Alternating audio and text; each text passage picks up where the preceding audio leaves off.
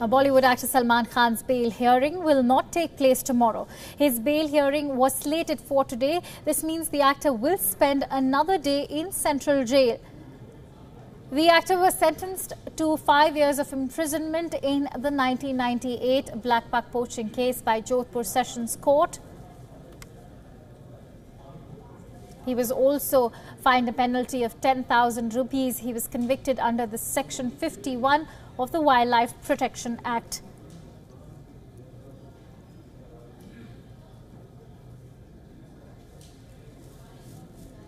And the other actor who were co-accused in the case were Saif Ali Khan, Tabu, Sonali Bendre and Neelam were acquitted yesterday while Salman Khan was convicted and is currently lodged in the Jodhpur Central Jail as he awaits a decision on his bail plea.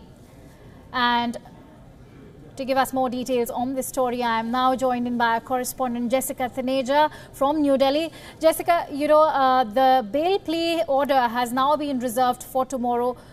That also means that, you know, Salman Khan is going to be spending yet another uh, day in the jail. Uh, how do you see this panning out now?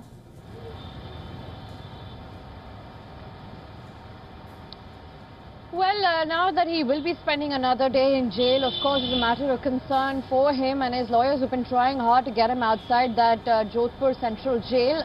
Uh, he moved to the Sessions Court and he uh, will, his order will be uh, heard tomorrow. Uh, but, his but the prosecutors say that his bail plea hearing is tomorrow, which is incorrect. So one will have to wait on what the clarity is. The reports that are emerging are quite are quite different from both ends, where we where we're also hearing that his bail plea will be heard tomorrow. The order has been reserved for tomorrow, but the prosecutor says no, that is incorrect. So a lot of uh, sort of divergent views coming in from Jodhpur right now. But yes, uh, his, his uh, lawyers will be trying really hard to get him out of that jail and spare him that misery. Right, Jessica, uh, as you established the fact that, you know, a lot of divergent views are coming uh, from Jodhpur at the moment what you know uh, what can we expect from the bail plea? Because a lot of uh, legal perspectives uh, you know um, which WION has seeked are saying that you know the bail might just uh, you know be considered. For Salman Khan your take on that?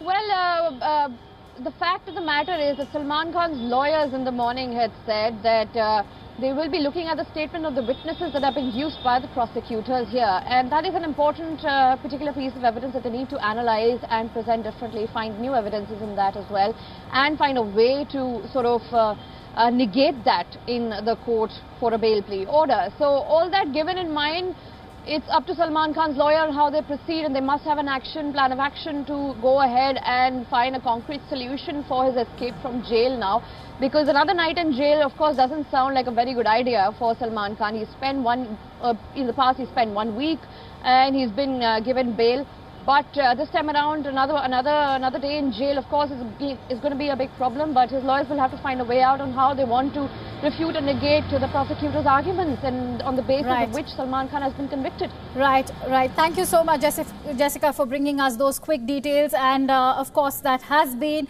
uh, you know, right now established that the bail plea order, which news stories that, you know, were doing the rounds at the bail plea has been reserved for tomorrow, has not been established as yet. And that uh, the prosecutor prosecutor has actually maintained that uh, the hearing is on, but a lot of conflicting reports coming uh, from Jodhpur at the moment. We will continue to track the story and give you the latest, most confirmed details on this case.